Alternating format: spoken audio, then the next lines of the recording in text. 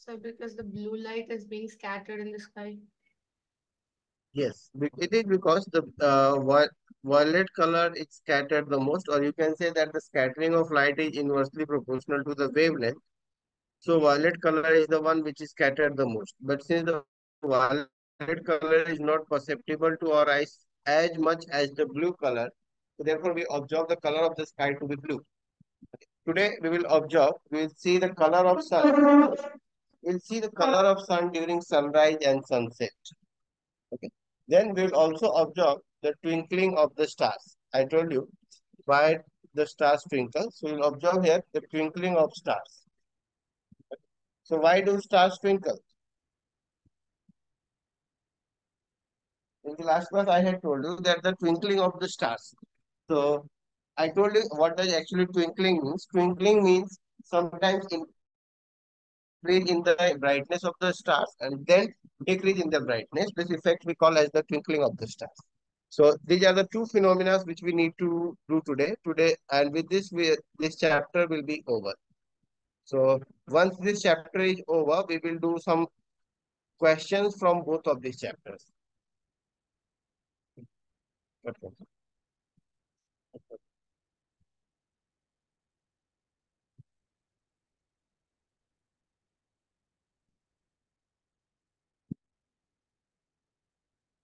So color of sun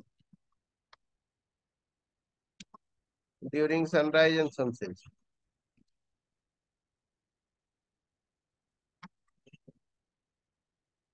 So see how does the color of the sun changes? The sun that we observe at every time, the same the sun during the morning time is red in color. As the day approaches, as the day begins, so the slowly and slowly the color of the sun changes and it becomes a brilliant white during the afternoon. During the evening time again, its its color starts changing and at the late evening, it again becomes oranges and then finally becomes red. Okay. We'll also observe the phenomena of advanced sunrise and delayed sunset. What is advanced sunrise and what is delayed sunset? So I hope everyone, all of you just, uh, can you keep your camera on? I can't see anyone.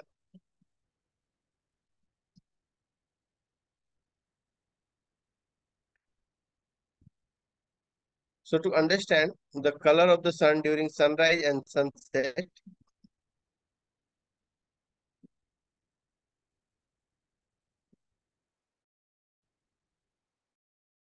okay, here we have our earth and let's take our sun. So see what happens during the sunrise and sunset. So as we know, the sun is very far off and sunrise and sunset is taken as the time of horizon. So if this is your horizon and we have our Earth's atmosphere, so we'll also take the Earth's atmosphere into consideration.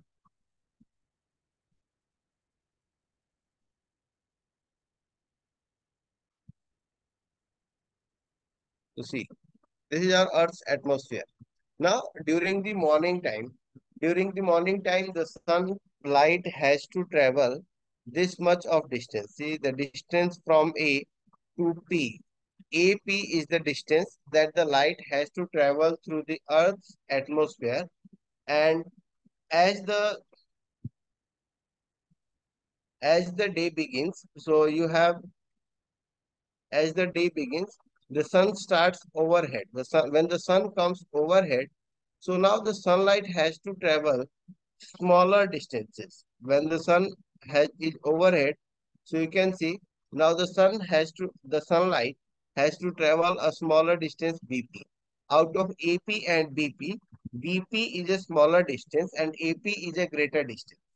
Right? So during the morning time, this is the morning time when we observe when we observe the uh, sun to be here. So during the morning time, sunlight is traveling a greater distance through the Earth's atmosphere. But during the noon time, the sunlight has to travel shorter distances through the Earth's atmosphere. So the scattering of light is too much during the morning, but during the afternoon, the scattering of light is not that much as it was achieved during the morning time. So the reason is the light had traveled a larger distance during the morning, but during the afternoon, the light has to travel shorter distances through the Earth's atmosphere. And even when the sun is at overhead, let's see this one. So when you observe the sun overhead over here, so the light has to travel still shorter distances. See, the sunlight now has to travel still a shorter distance, CP. It's a still small distance. Now, so why the color of the sun is red during sunrise and sunset? The reason being, during sunrise and sunset,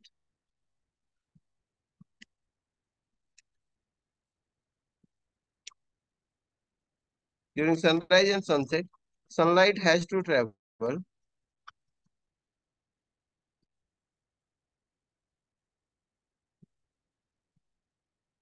sunlight, sunlight has to travel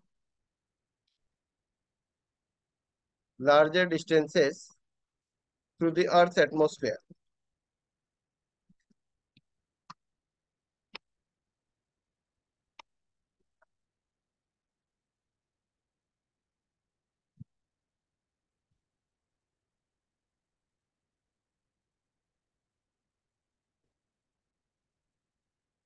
And evening.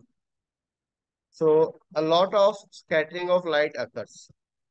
A lot of scattering of light occurs during morning and evening and hence all the colors of light, since out of the seven colors of light, all the colors get scattered and the scattering is minimum for the red color. The red color scattered the least. Therefore, only red color reaches our eye. So here we have only red color reaches eyes. So as it rises up, slowly and slowly, all the colors start approaching our eyes. As we have all the other colors approaching our eyes, we observe the color of the sun. We observe the color of the sun to be white. Got it? Understood the color of the sun? Why do we have the color of sun as red during the morning and evening and brilliant white during the afternoon? Yes, Siddharth? Siddharth, have you understood? Yes, sir. Okay, Dhriti? Dhriti, what about you? Yes, sir. Okay, Dhriti, Kashvi, uh, and Sir, can you explain it again? Yes. see, from the from the sun, we have different colors of light. From the sun, we have red color also approaching. We have green color also approaching. We have blue color also approaching towards us. We have yellow color also approaching towards us. But when all the colors enter during the Earth's atmosphere, so here yellow color gets scattered up. Here the blue color gets scattered up into, into the Earth's atmosphere. The green color also gets scattered up. So this blue color scatters up in the atmosphere. This green color also scatters in the atmosphere. But since the scattering is minimum for the red color, so the red color reaches our eyes. Or it is only the red color which is able to reach our eyes. Therefore, we observe the color of the sun to be red in color. Whereas during the afternoon, during the afternoon, the light has to travel smaller distances.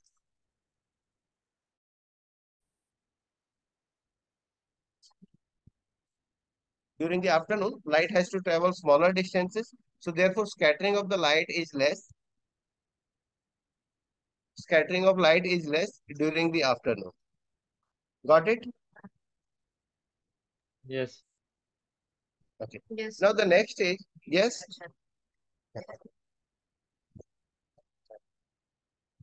the next is advanced sunrise and delayed sunset. So some questions are asked every uh, every time from these concepts, what is advanced sunrise and delayed sunset.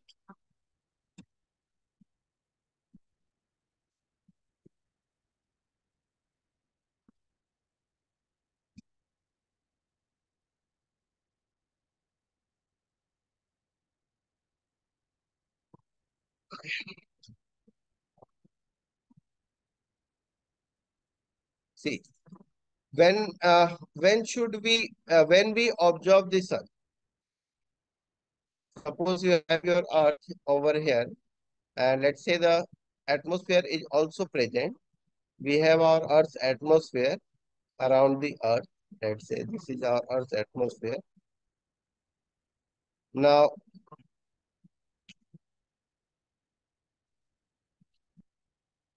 so let's see when do we say sunrise and sunset?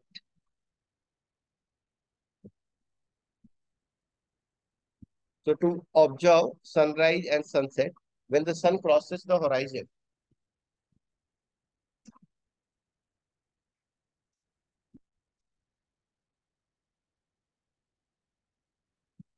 So this is a line which is our horizon. If I am standing over here, I I stand at this point. I stand over here. So I will be able to observe the sun when the sun crosses this horizon. Am I correct? When the sun will cross this horizon, so that is the time I will be able to observe the sun. And if the sun comes below this horizon, so the sun will not be observable to me. Okay, everyone agrees this point? Where Yes. do you observe sunrise and sunset? When the sun crosses the horizon, when it comes up the horizon, you say it's sunrise. When it goes below the horizon, you say it's sunset. All right. So, yes, Moksha? Moksha, are you lost sir. somewhere? Uh, do not keep this No, uh, position of your hand.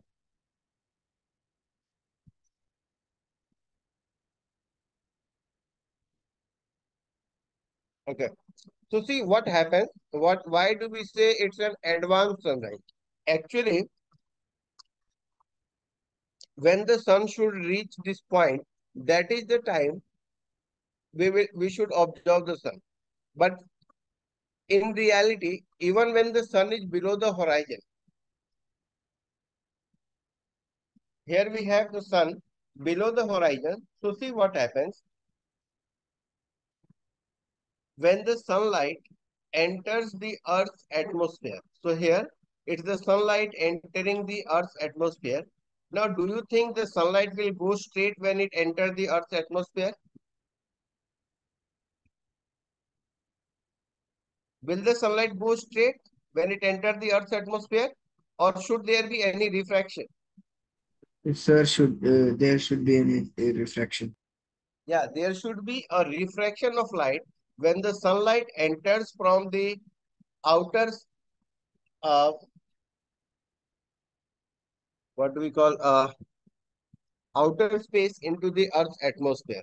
Since the density of the atmosphere is higher than the outer space, so light is entering from a rarer medium to a denser medium.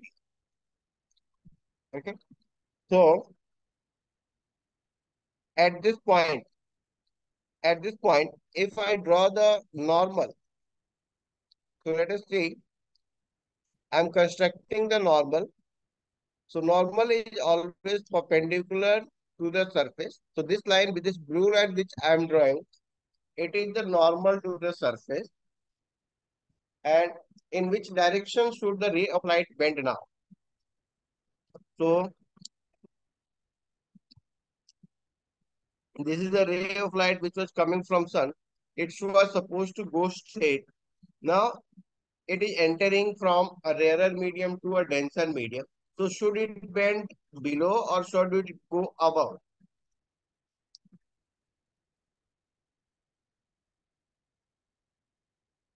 Yes.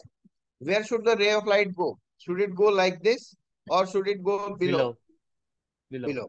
Below. Since it should be bending towards the normal, so this ray of light bends towards the normal and reaches the observer.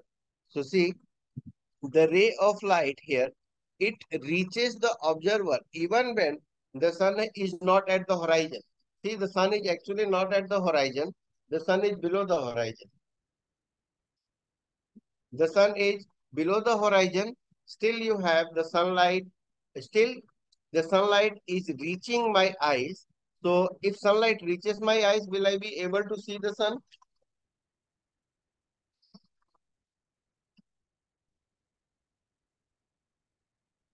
Yes, Yes, sir. yes or no? Yes. So I will be able to see the sun and I will observe the sun to be in the straight line only. It will appear to me that the sun is here. So this position is the actual position of sun.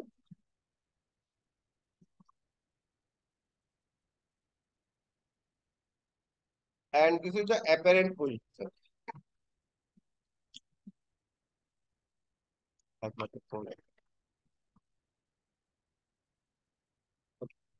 So this one is the actual position of the sun. This one is the apparent position of the sun. Now, even when the sun is below the horizon, I am able to observe the sun at the horizon. Okay. So it will appear to me that sunrise has occurred, whereas actually the sunrise has not occurred.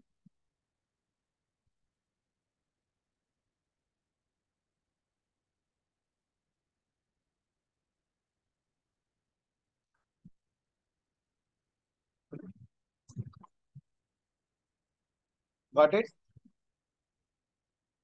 Yes, sir. Yes, sir. So can I say it to be an advanced sunrise? When the sunrise has not actually occurred, but I can see the sun. That means when we observe the sunrise, at that time sunrise has actually not occurred. Actually the sun has not come above the horizon, but we are able to observe the sun above the horizon. Got it? Yes. Yes.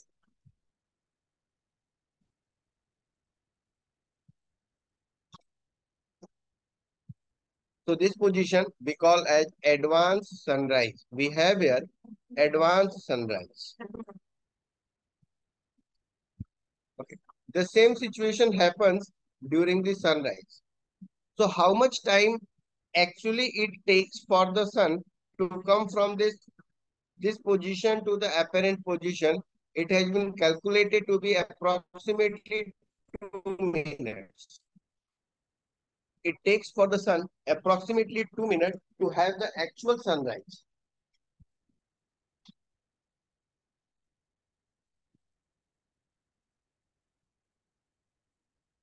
Got it? To have actual sunrise or to uh, sun to have come to actually horizon, it takes two minutes. Now the similar thing happens during sunset also. Okay, so see how it happens during the sunset.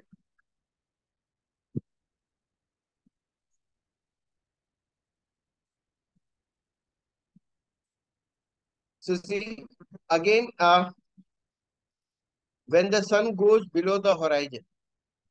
So when the sun has gone below the horizon, where it should not be actually visible to me, but again due to the same phenomena, due to the similar refraction occurring during the uh, sunset.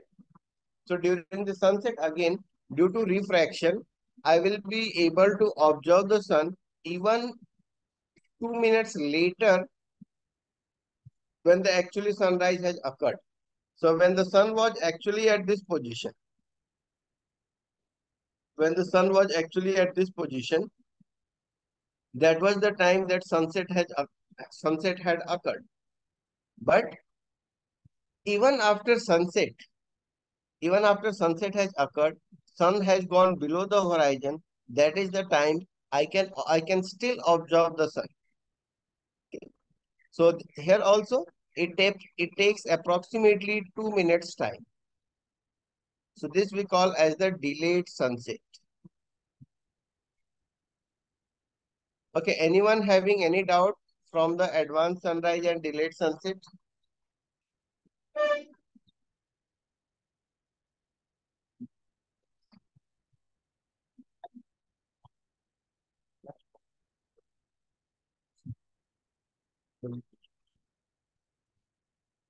Got it?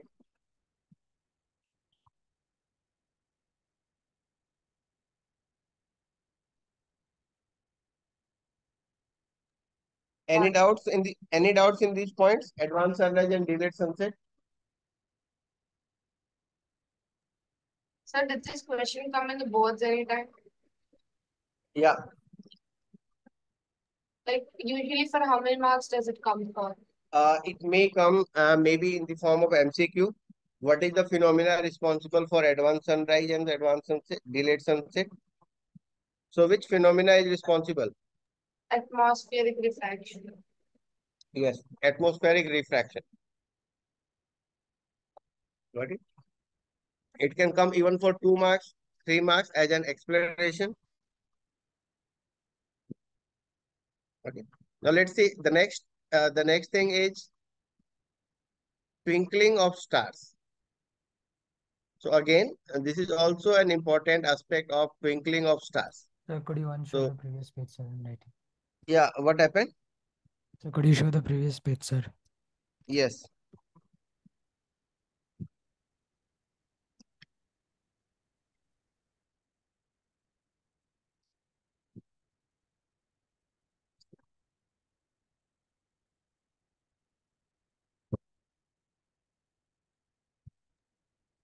Yes, sir. Complete.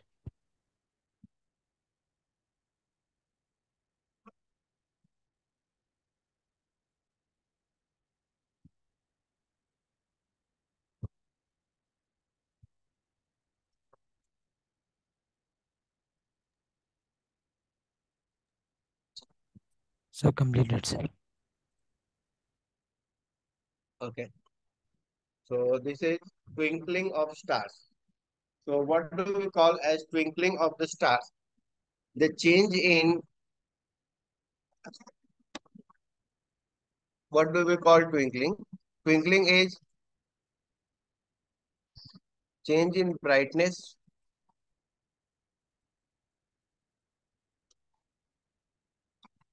of stars or we can say stars appear to flicker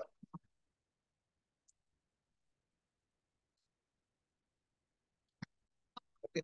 So this phenomena we call as the twinkling of the stars. And this only happens with the stars, not with the planets. That means you cannot observe the twinkling of uh, different planets. Even the planets are also far off.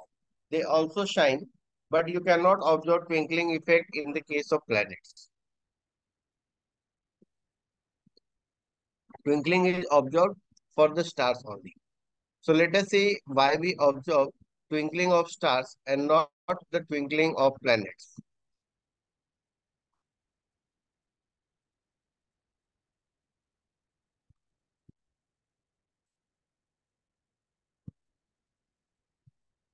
Again, here also, the role is for our atmosphere. Our atmosphere plays an important role in the twinkling of the stars.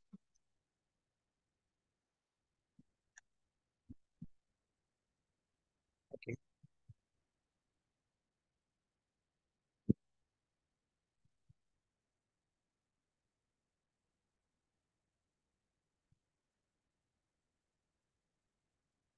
uh, as you can see, we have taken here our Earth and the Earth atmosphere.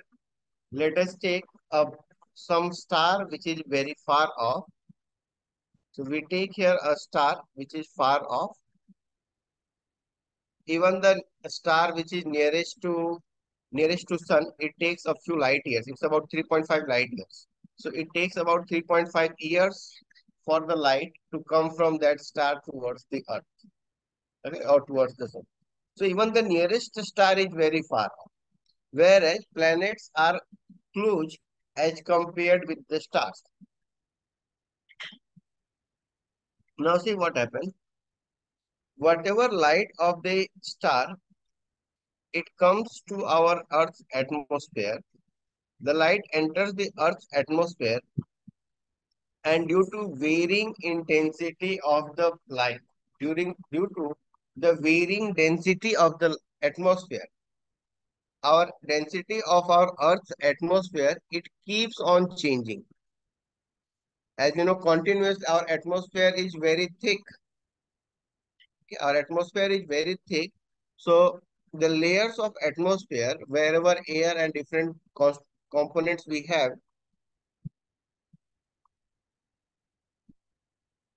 the density of the Earth's atmosphere keeps on changing.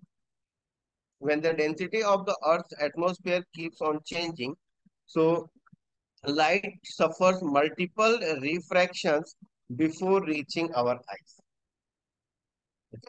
So when any star's light, it travels and reaches our eyes, it suffers a number of refractions before reaching our eyes.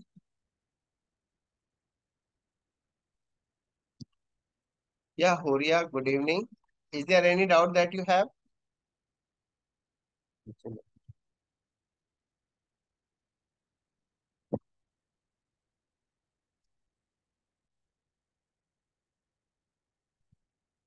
Okay, Horia, no issues. You can access the uh, the video recording of this class. Okay, maybe by tomorrow the video recording will be available. So here, see the light of the star, it comes through a number of refractions. Why a number of refractions are there? Because of the varying intensity of the atmosphere, varying density of the atmosphere. The density of the Earth's atmosphere keeps on changing. It's not a fixed density. So somewhere it's high, somewhere it's low. It, it keeps on varying. And therefore, the light which reaches our eyes, it comes through multiple refractions. Okay. So once the light reaches our eyes, we are able to see the star. We are able to see the star once its light reaches our eyes. Then uh, again, the density of the atmosphere changes and the light which was reaching our eyes is not is not able to reach our eyes. Now it reaches somewhere else. It doesn't reach our eyes. So if the light does not reach our eyes, we will not be able to observe the star. So why do we observe the twinkling of the stars? The twinkling of the stars is observable. It is because of due to the varying density of the light or due to the varying density of the Earth's atmosphere,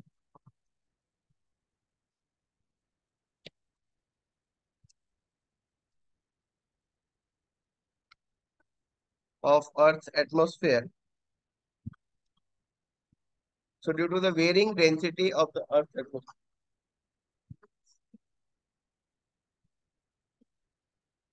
due to varying density of Earth's atmosphere, sometimes sunlight, sorry, not sunlight, some, sometimes light from stars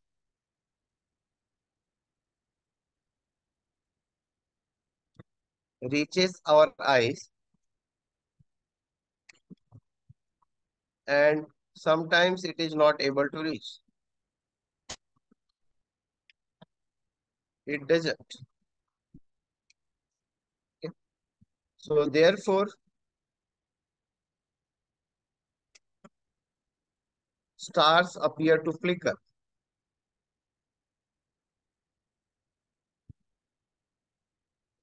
So why do stars appear to flicker or why do we observe twinkling of the stars? The reason being due to the varying density of the Earth's atmosphere, sometimes the star's light reaches our eyes and sometimes it is not able to reach our eyes.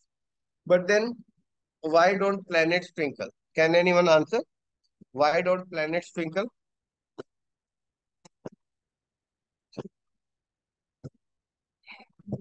The planets don't give out light. Uh, so, uh, what difference will it create if they don't give out light?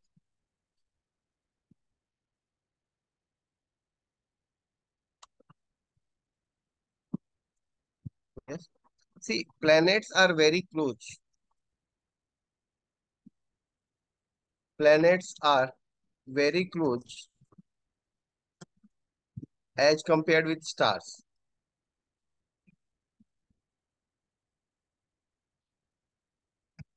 Hence, they act as extended sources of light. I'll I'll tell you what are extended sources of light.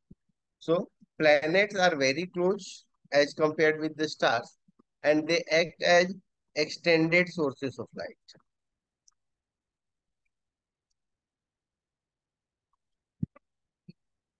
So planets, they act as extended source of light. They are not uh, point sources.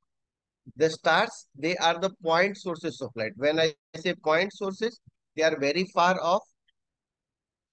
So the stars, they are very far off and they extend or they look as a extended uh, point source of light. Whereas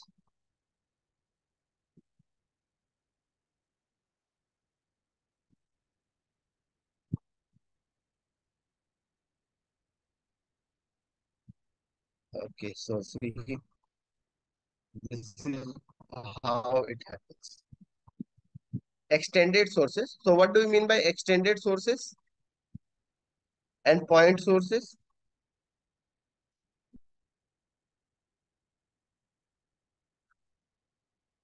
Okay. Okay. See, for the extended sources and point sources, when I talk of point sources, point sources are very small and they the light which comes from them, it is very small. So whatever light comes from the sun or whatever light comes from the star, the amount of light that comes from the star is very less.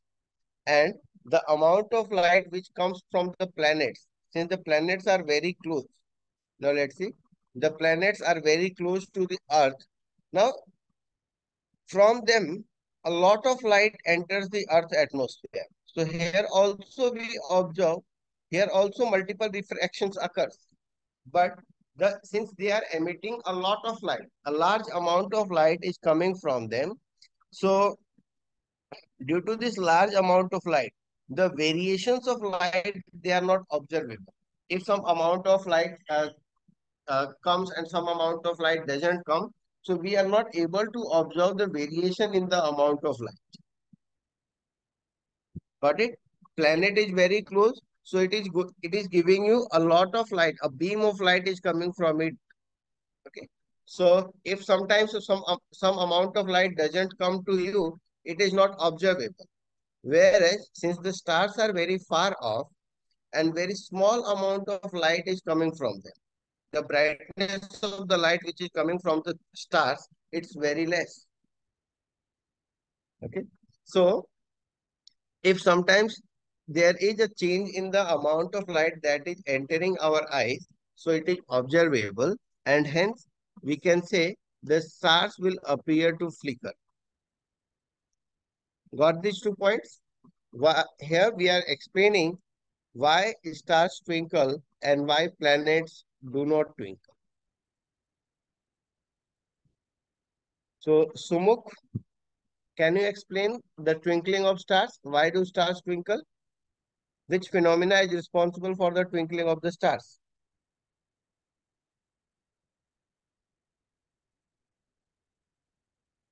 Sumukh?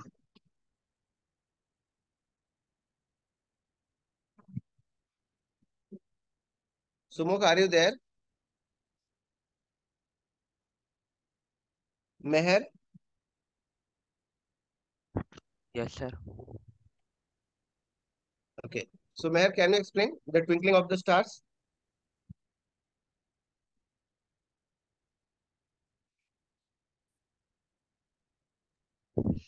Sir, can Okay, give me Shubhansh? Shubhansh? Yes. Yes, sir. Okay, can you explain the twinkling of stars? Sir, can you repeat? Uh, can you tell why the stars twinkle and planets do not twinkle? Uh, Sir, due to atmospheric refraction. So due to atmospheric refraction, there is twinkling. But why do stars twinkle and planets do not?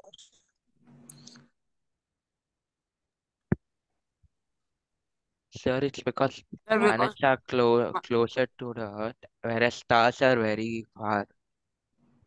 Okay. So what happens because of that? When an object is closer, the atmosphere like the deflection is like varies. No. See, I talked of here two words. I talked, I call this one to be a point source of light.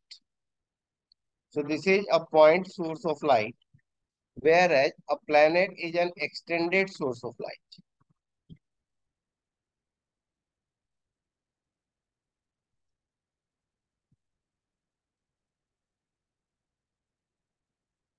The size of the stars that appears is very small. So they are point sources of light and hence very small amount of light comes from. them. Got it?